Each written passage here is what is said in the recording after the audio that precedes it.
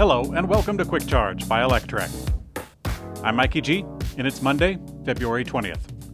Tesla is reportedly considering to buy Brazil based lithium miner Sigma Lithium, which is currently valued at $3 billion. With the rapidly rising costs of key materials for battery production, Tesla has announced that it's getting into the mining business, starting with buying lithium claims on 10,000 acres in Nevada. That was actually two years ago, and we haven't heard much in terms of raw materials other than purchase agreements. But now, a new report puts potential acquisition targets on Sigma Lithium. Sigma Lithium's biggest shareholder, which is A10 Investimentos, is a Brazilian private equity fund which is considering pushing for a sale of the company. They're currently talking to potential bidders. Sigma Lithium's stock price has tripled over the last year, making it more difficult for an acquisition target. As a matter of fact, after the recent news, their stock shot up another 24%. In the release notes of the latest Tesla full self driving beta version 11, Tesla explains what is happening to Autopilot with the new update and adds a capability to send voice feedback. The update is an important step because it includes many new neural networks, as Elon Musk stated, but from a consumer's perspective, it also has an important feature that will merge Tesla's full self driving beta software stack, primarily used on roads and city streets, with Tesla's Autopilot software stack, which is used as a level 2 driver's assist system on highways. It has been delayed several times, but recently Musk confirmed that the new version, which is version 11.3, is going to be going to close beta this week.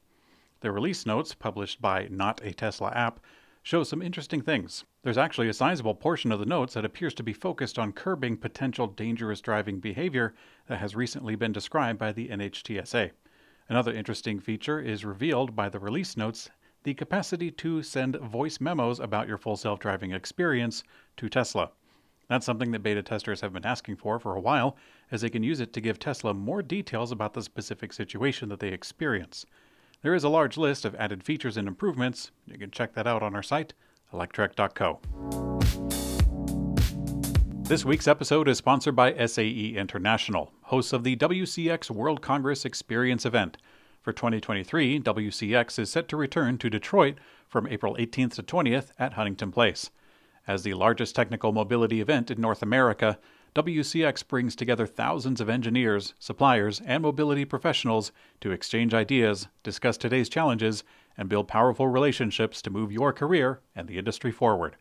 Join the global mobility community in the Motor City this April to stay up to date on the latest technological advances, participate in roundtable discussions, and network with the brightest minds in the industry. Gain a competitive advantage and meet the people shaping the future of mobility. Visit wcx.sae.org to register now. Tesla dropped the price of its CCS combo adapter to just $175 making the prospect of fast charging at any DC fast charging station relatively a good prospect for most Tesla owners. The adapter, which previously cost $250, is now 25% off. However, the company isn't advertising the price as a sale, so it could be a new price. Not all Tesla owners can take advantage of the adapter, however. Some vehicles made before 2020 require a retrofit, which Tesla has offered but has not yet started implementing. Nissan is slashing the price on its first electric SUV, the Nissan Ariya, in China, and they're doing so to remain competitive in the market. Nissan's joint venture in China, which is called Dongfeng Nissan, is showcasing the promotion on the front page of their website. The limited time discount is good for up to 60,000 yuan, which is roughly $8,700. That means that the starting price is around 32,800. The move follows Toyota, which dropped the price of their electric SUV by about 15%. And that Toyota move follows Xpeng, which follows Tesla.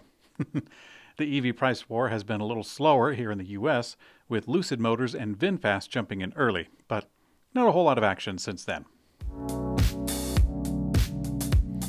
This is quite the twist of news, but Lightyear has announced plans for a new company entirely focused on getting their short lived Lightyear 2 vehicle into production.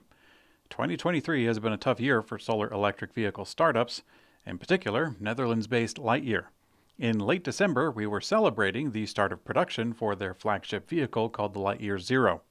A month later, the company had officially opened a wait list for their next car, the Lightyear 2. But then a few days later, they announced that they had officially filed and been approved for bankruptcy.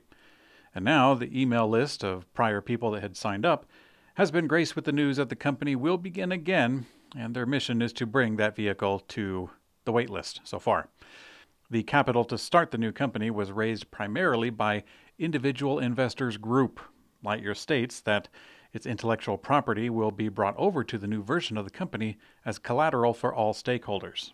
We wish Lightyear the best of luck in getting their solar electric vehicle on the road. In today's community comment found on YouTube, Larry Davidson says, You look young with your beard gone. Thank you, Mickey G. Well, thank you very much, Larry. I turned back the clock just a little bit. Someday, I'll get some white hairs coming in and you'll slowly see it creep up live on YouTube, Electrek's daily channel. So it'll be fun to watch in real time, going back and seeing when the day was that it started to become noticeable.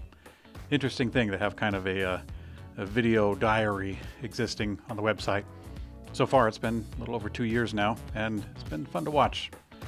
I'm sure it will be a lot more fun as the years go by. And you'll be there with me, Larry, won't you? Thanks for watching Quick Charge by Electrek. I'm Mikey G, and I hope you have a great silver hair.